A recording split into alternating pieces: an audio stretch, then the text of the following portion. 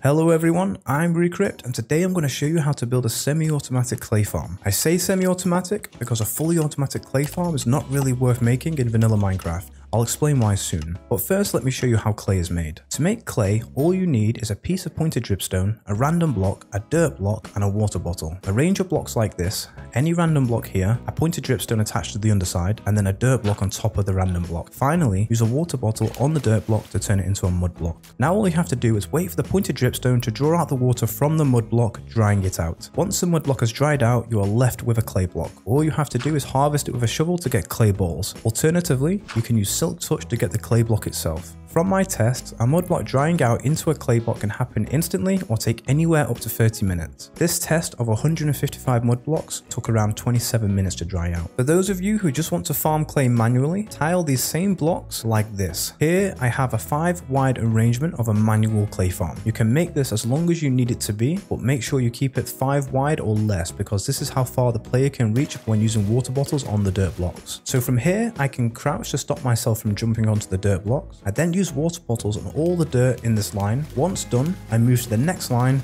and repeat. I've also used waterlogged stairs here to make filling up glass bottles with water quick and easy. Once done, wait for the mud to dry out, harvest the clay, replace the dirt, and then repeat the whole process until you get your desired amount of clay. This manual clay farm is great to get you started before making a semi-automatic version, but in the long term, this is extremely tedious. So ideally you want to automate as much of this process as you possibly can. The only parts we can't automate are the placing of dirt blocks, because there is no way to place dirt blocks automatically in Minecraft without an incredibly large redstone contraption that consumes a ridiculous amount of bone meal. And unfortunately, dispensers and droppers can't place blocks. But if you did want to completely automate a clay farm, then I encourage you to go watch Ilmango's automatic clay farm video and his auto mud farm video. These are both really great videos and farms by Ilmango, but you'll have to combine both farms to get a complete clay farm. But I think that these designs are a little too much for the average Minecraft player, which is why I recommend going down the semi-automatic route. The other element that isn't practical to automate is the harvesting.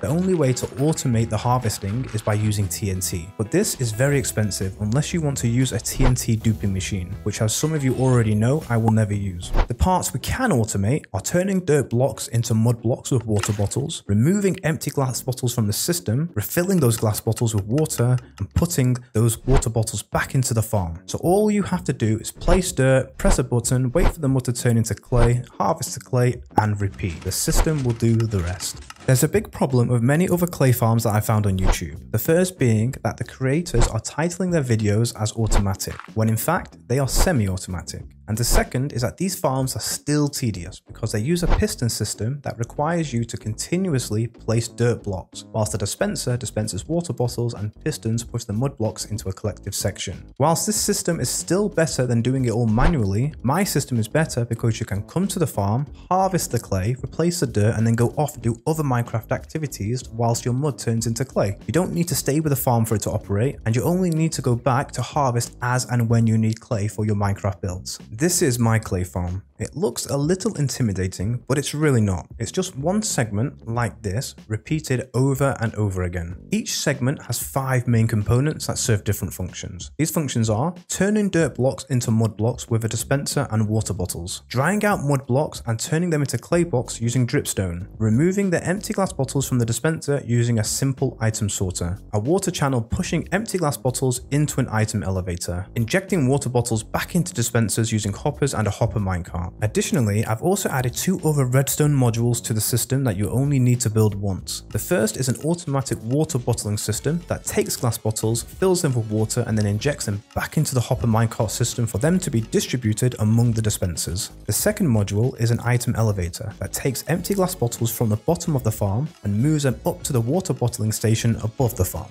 As you can see, I've been through several iterations of this farm and have now fine-tuned it for accuracy, efficiency and automation. I'll show you how to build the farm at the end of the video, but I think it's far more important for you to understand how each of the components work. The first component is turning dirt blocks into mud blocks using dispensers and water bottles, and using dripstone to turn the mud blocks into clay blocks. On this single segment you can see I have a pointed dripstone, a random block and a dirt block, just as I showed you earlier. And attached to this I have a dispenser filled with water bottles, and a redstone circuit to activate it. When I press this button, the dirt block turns into a mud block. It's important that you use a dispenser and not a dropper, as a dropper will spit the water bottle out instead of dispensing it to the dirt. You can see from the slightly larger version how the segments go together and how they are attached to a single redstone circuit. Also note that each segment has another segment mirrored on the opposite side. This is as wide as you can go. You can't introduce another row of dirt blocks in the middle because there is no way of dispensing water to them and no way of attaching them to the rest of the redstone circuits. So you can only have two rows per farm, but you can make these rows as long as you like, making this farm infinitely expandable. Now we have dispensed water to the dirt blocks, the next problem to solve is removing the empty glass bottle that is now inside the dispenser. We can do this by using an item sorter. This item sorter will remove empty glass bottles from the dispenser while leaving the water bottles untouched. There are many types of item sorters, but I've used this one because it's tileable, meaning you can build as many as you like right next to each other without any negative effects. This is what happens when I add glass bottles into the dispenser. It gets filtered out and spat out by the dropper below. This works because of this redstone circuit, and from the way that these two hoppers are set up. Hoppers have a push and a pull function. The push function pushes items out into the direction the hopper is facing. And as you can see here, this hopper is pointing into the comparator. And because comparators are not capable of receiving items, the hopper's push function is disabled. So now the top hopper can only pull items from its top side, which in this case is pulling items from the dispenser above. The bottom hopper still has the ability to pull and push, so it can pull items from the hopper above and push items into the dropper below. But because of this redstone circuit, this hopper can only pull and push when the circuit is activated. And that's because this hopper has been disabled by a redstone torch. Redstone signals pointing directly into a hopper like this will disable it. So the remaining redstone components here, which I haven't explained yet, are designed to disable the redstone torch, which will then allow the bottom hopper to pull and push items again. To understand the rest of the circuit, you first need to understand how hoppers produce redstone signals. Hoppers produce a redstone signal with the strength being dependent on the number of items inside. We can read and transmit this signal to other objects using a comparator. In this example, the comparator reads the signal from the hopper and sends it to the redstone lamps via redstone dust and repeaters. Repeaters extend the redstone signals, but in this example they are primarily used to redirect the signal into the redstone lamps. Look what happens if I put 22 stackable items inside the hopper. You see that the first lamp gets lit. This is because the amount of items inside the hopper only produces a signal strength of 1. If I put 23 stackable items inside the hopper, then the hopper signal strength increases to 2, lighting the second lamp. If I put 46 stackable items inside, then the signal strength increases to 3, lighting the third lamp. It's worth noting that non-stackable items produce a stronger signal, but we won't be using these, so don't worry about this for now. So how does this mechanic work with our item sorter? Well, as I mentioned before, this torch is deactivating the bottom hopper, meaning it can't pull or push items out. The only way for this hopper to start working again is for this redstone torch to be deactivated, which is what the rest of the circuit does. We have to create a strong enough signal in the top hopper to reach all three of these redstone dust. This means we need a redstone signal strength of 3. Once a signal strength of 3 is produced, the last piece of redstone dust has received a signal, and then this repeater redirects and boosts that signal into the redstone torch, deactivating it, which will then allow the bottom hopper to function again. Once this happens, the bottom hopper will start pulling items from the top hopper and pushing those items into the dropper below, and will continue to do so until the top hopper stops producing a signal strength of 3, which will only happen once there are 45 or less stackable items inside it.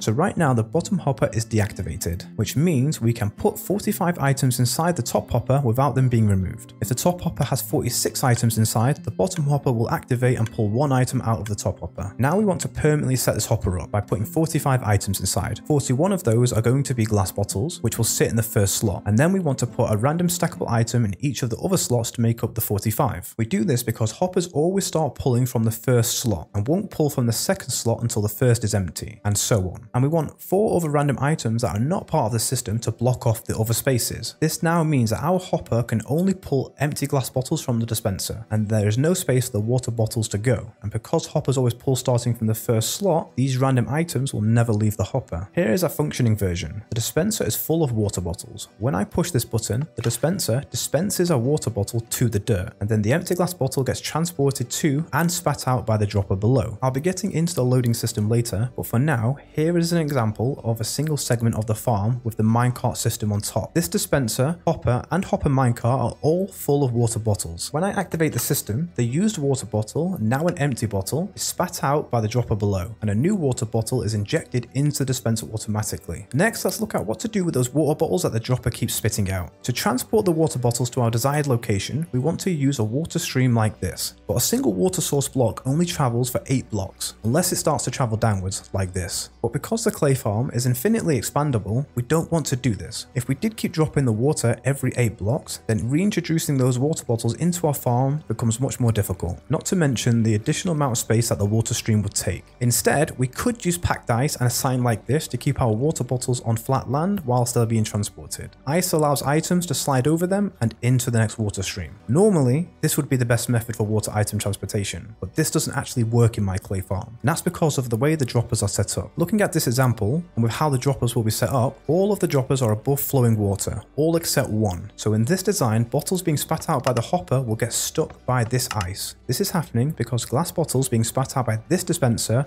have very little horizontal momentum. The solution to this problem means introducing another hopper and dropper component. In this example, the water flows towards a hopper. When the glass bottles enter this hopper, they are sent to this dropper, which then spits them out into the next water stream. And now the dropper above doesn't spit its glass bottles onto ice, it spits them directly into a hopper. So every time the water stream ends, we have to add this auto dropper. It's a very simple design. Items that go into the hopper are then sent to the dropper. The comparator reads the signal from the dropper and sends that signal to the sticky piston. The sticky piston opens, raising this observer. When two observers are facing each other, they constantly send signals to each other, which is what's happening here. And the signal being produced is sent to the dropper, activating it, allowing it to spit out all of its items. So we have to continuously build these into our water streams like this. Alternatively, you can use hoppers instead of water streams, but too many hoppers cause a lot of FPS drop, and we want to avoid this as much as possible, especially if your PC is on the slower end. Now let's look at the complete farm to understand the final components. Here are the water streams, they lead into this hopper, glass bottles entering this hopper will be pushed into the item elevator module, which will bring them all the way up here to this water bottling station module. This bottling station is the same design I used in the water streams, the only difference being that this is a dispenser, not a dropper. Dispensing glass bottles into water like this fills them up, and once each bottle has been filled up, the hopper below picks them up and pushes the now water bottles into the other hoppers. The hopper minecart will then come by and take one glass bottle from each hopper as it passes, which is why I've chosen five hoppers here. This way, every time a hopper minecart passes, it will fill up all of its five slots. And then as you already know, that minecart distributes those water bottles to all the dispensers. Let me quickly show you this item elevator. So all of these are droppers. Droppers have the ability to push items into other objects. Dispensers can't do this. Once the items enter the bottom dropper, this comparator reads that signal and sends that signal to the redstone torch. And as I explained during the item sorter segment, this redstone torch is disabling this hopper. And now these two hoppers work a little bit differently. If I place two hoppers facing each other like this, and I place an item inside of one of them, both hoppers will begin to pass that item back and forth. The only thing stopping this from happening, in this case, is this redstone torch. But once glass bottles enter the system, this redstone torch deactivates, allowing these hoppers to continue passing the item back and forth. And when this happens, this comparator here reads the signal being produced from this hopper and sends that signal all the way to the top through these redstone torches. And every time one of the redstone torches next to a dropper activates, that activates that particular dropper. So if there is a glass bottle inside, it will be pushed to the next dropper and so on until it reaches the water bottling station.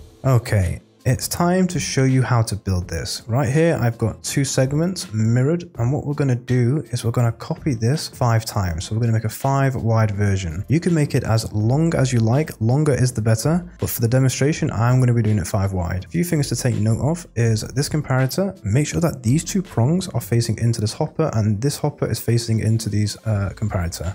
The repeater is facing into this block. This is a dropper pointing down this is a dispenser pointing into the dirt. And for the pointed dripstone, you'll notice that it's not here right now.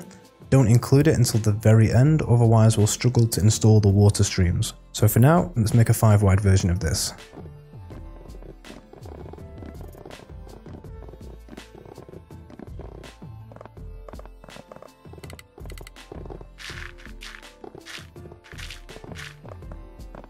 Once you've done, go to this level and fill in all these hoppers with your 45 items. I would recommend starting with your 4 random items first and then put the glass bottles in. Because if you accidentally put more of the random items in, they're actually going to get drained out into the hopper and into the dropper and it can actually clog up the system. Uh, I'll explain why later. Okay, next we're going to connect our redstone circuit up like this. And I'm going to lower the button just slightly so that we can avoid the minecart track. You can pretty much put this button wherever you like. I'm going to put it here for demonstration purposes, but you'll probably have a better idea of where you want to put it that fits your build and what you kind of design around this. The only thing I would say is that make sure that if you have this longer, make sure that this circuit can reach the very end of the uh, dispenser. The very last two dispensers on the end, it needs to reach that. So you use repeaters to extend this line. Next, we're going to put the minecart rail with the minecart rail, as you saw over here, I have created this circle. And I created the circle because what's going to happen is it's going to load all these dispensers faster. That's actually a good thing when you initially set this up. Because when you first set this up, it's going to take a long time to get all these dispensers filled with only one minecart. So what you can actually do is you can put multiple minecarts on. Like this let it fill up all dispensers, and then once it's done, you can remove all the minecarts that are excess. You only really need one for this size. If you've got it larger, then maybe you'll have a couple more minecarts on there.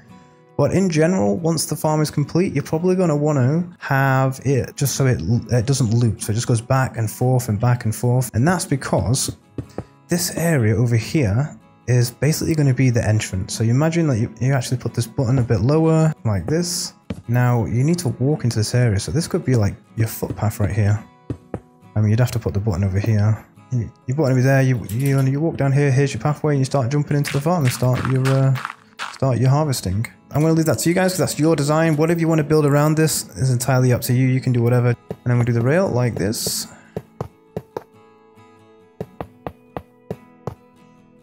And next is powering the redstone. I used redstone blocks like this. Now these are expensive. If you want to just use redstone blocks, it's going to cost quite a lot of redstone. And I chose this because it's a little bit more compact, but you don't have to use this. You can also just use a redstone torch like this. So you could just do that. That's a much cheaper way and it doesn't interfere with any of the other redstone circuits. Now just dig out a little area like this. It doesn't need to be perfect. We just want a little space to work with and also we are lowering it down a little bit so that the water stream can flow into the item elevator. Okay, we're now going to build the item elevator and as you can see here, I have extended this out by two because I just realized that it's going to get in the way of our minecart hopper. So we actually need to move just one side out a couple of extra blocks. And then what we're going to do is we're going to come over here and we see this redstone circuit right here, this first line of redstone next to the comparator. We're going to go here and then we're going to look at this. We're going to go down. We're going to leave a one block gap and then we're going to start placing droppers. So we actually need 10 droppers. So we're going to go one, two, three, four, five, six, seven, eight, nine. And then for the 10, we're going to go here and face it in this direction. Next, we're going to go to the bottom and we're going to go leave this empty. We're going to go right to the left and we're going to go all the way up like this. And then we're going to go back down and starting from this block, we're going to take out one this side, one this side, one this side, and so on all the way to the top. Then we're going to get our comparator and we're going to face the single prong into that block. We're going to get hoppers and we're going to face two hoppers into each other like this. And then we're going to put an item inside. I'm just going to put a redstone torch. And as you can see, now these hoppers are passing that item back and forth. It doesn't matter what item you put in there. You just need to make sure you only put one. Okay, and then we're going to come here and we're going to put a block here. And we're going to put another comparator right there with the two prongs facing into the dropper. And then we're going to get a hopper and place it pointing into that dropper as well. Then we're going to get a redstone torch. We're going to put one here and one here. And now you notice I put this one, this has stopped flashing. This is moving, I put this here, it's no longer flashing, this is no longer moving. That redstone has deactivated those hoppers. Now we're gonna go to the back and we're gonna go one, two, three, four, five, and so on. And then we're gonna go in here and do the same. Gonna go to the other side, and on this side, we're just gonna do the inside ones. We're not gonna put any here, so just on the inside. And I'm going to put a chest right here, just temporarily. I'm going to come down here and I'm going to put the glass bottles inside the hopper. And there we go. I just want to test that it's working before we continue. And as you can see, it is definitely working. Okay, next is going to be the water bottling station. So I'm going to get rid of this. I'm going to put some temporary blocks here. I'm going to create six temporary blocks. I'm going to get rid of these five. I'm going to get a hopper and I'm going to face them in this direction like this. Now I want to put a glass block here get rid of these corners, get a water bucket, and we're going to put that in there. Then we get a temporary block like this. We're get a dispenser. and we're going to face it down like that. Get rid of these. Next, I'm going to get a comparator and I'm going to put on top of this glass with the two prongs facing into the dispenser. Then we get a sticky piston and we put a sticky piston right here facing up. We're going to go to the back and we're going to put an observer with the red dot facing this direction. Put a temporary block on top of the observer and go to this side and put another observer right here with the red dot facing in this direction. And there you go. That is the water bottling station complete and it is connected to the elevator. So let's give it a little test. So let's go to this hopper and we put in our water bottles and look at that. It is now working. So these hoppers are going to fill up. This hopper minecart is going to pick them up and it's going to start distributing all of those water bottles to the dispensers and hoppers. So if you build a larger version of this, it's going to take a long time to fill up all the hoppers and dispensers. So what I would say do is just come down here and just throw a whole bunch of empty glass bottles into this hopper. Let that continue to fill while you build the rest of the uh, farm. Okay, now to build our water streams. So to start the water streams, this part at the very beginning is going to be a little bit different because we actually need to connect it up to our water elevator. But after this, the uh, parts that you build continuously, if you're going to build really large farms, it's just going to be repetitive. You're going to do the same thing over and over. But to start, let's take some glass and we're going to come over here to this hopper and we're going to block off this part right here so no water can go past there. And then we're going to come behind the droppers and we're just going to put a row of glass behind them. Same for this side, like this. Only for this side, we're going to get rid of this one and we're going to put one right there. And then we'll come back to this side and then we're just going to put a row like that. So now if you look, we've got a little pathway for the water to go. Let's go through the other side because that side's blocked. Now we're going to come here. On this side, we're going to put an ice block right here. And then we're going to put a glass block right here. And then we're going to uh, put a sign like that. Okay, and now we want to bring these out all the way and we're going to test this. So let's count first. So water source blocks travel eight blocks. Let's count from here which is where we want it to end. Go one two three four five six seven eight.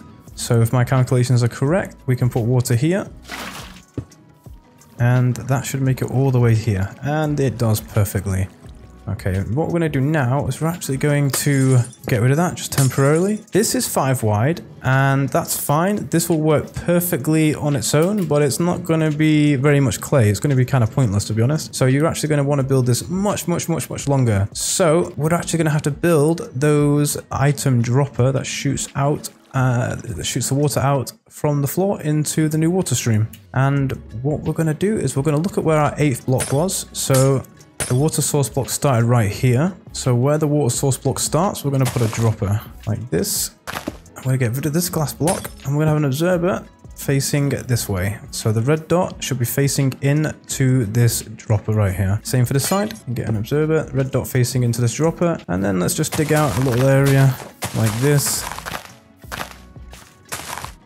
And then on the block right behind the dropper, we are going to put a comparator with the two prongs facing into the dropper. And then we're going to get rid of this block and we're going to put a sticky piston right there. And then we're going to have to come this way and we're going to put a, another observer right there. And now we're going to get a hopper and we're going to place a hopper pointing into that dropper. Let's give it a little test. There we go. That works perfectly. That's one complete. And then we do the other side one more time. So the block where the dropper is, we're going to put a comparator right there. We're going to go behind here and we're going to put a sticky piston. And then we're going to put a observer like uh, like this. And the eye should be right there. Perfect. And then we're going to put a hopper facing into the dropper. Let's test it again. And that works perfectly. Now we can get our glass and we can like this and then we want to put signs on top of the hoppers. And now when we put our water source blocks back on top of these droppers, the water is going to flow into that direction. Okay, now that's done, you need to close off this area as well, right there, but make sure you don't close this one. And now to give this a little test, let's throw half a stack of glass bottles in here, half a stack in here, and let's have a look. Perfect. Now, one thing to note here is look what's happening right now. I am standing on this glass and a lot of those glass bottles are actually going into my inventory. So when you're using this farm, you really want to stay away from any of the areas that have water streams because you can pull those glass bottles into your inventory. You do not want to do that. I'm going to go over some of the problems that you're going to face in case you need to problem solve when you build this farm for yourself. Uh, but just know that you need to stay away from the water streams. I highly recommend doing this part now before you continue to extend the rest of the farm because the rest of the farm is going to be repeated very easily, but you might struggle to include these glass bottle droppers if you've already got water flowing through. I'm not going to build the rest of this. I'm just giving you a quick example of how we would do it. So the hopper is going to go in here and then we have the dropper like that. Signs here. And if we get our water, we should have eight blocks perfectly. So on these ones, you don't need to have the water going over the top of the hopper because when the water gets pushed through, it will just land in the hopper, no problem. And then the dropper that's going to be in this position is going to shoot items straight into that hopper. It's a little bit different to how we had it over here, because over here we have the water flowing on top of the hopper. And the reason for that is, is because we're going around this bend. So if we didn't have the water flowing into the hopper, any items coming down here would have just hit this wall and would have just been stuck here. So that's why we flowed it in here. But you don't need to do that with uh, with the rest of this. So you get a full eight blocks after every hopper. And the absolute very last thing to do is to come down here and put your pointed dripstone like this. If you do not do this, then the farm will not work. Before I end the video, let's go over some problems and solutions. Some problems I came across and solutions I found. And you're probably going to come across one or more of these problems for yourself. The first first one is when you first use this for the very first time, you're not going to get any glass bottles coming out. And the reason for that is because this doesn't run continuously. This runs per cycle. So every time I press this button is one cycle. So any glass bottles that are in this dispenser now that get pulled out are going to get pushed through one cycle and that one cycle is only going to push them to this first hopper. It's not going to push them to the dropper. It needs a second cycle to push them to the dropper. So now if I look here, it's empty. But when I use this farm, let's go for the first time, no glass bottles, but now we have a glass bottle in the hopper. Let's change this back to dirt and we use it again.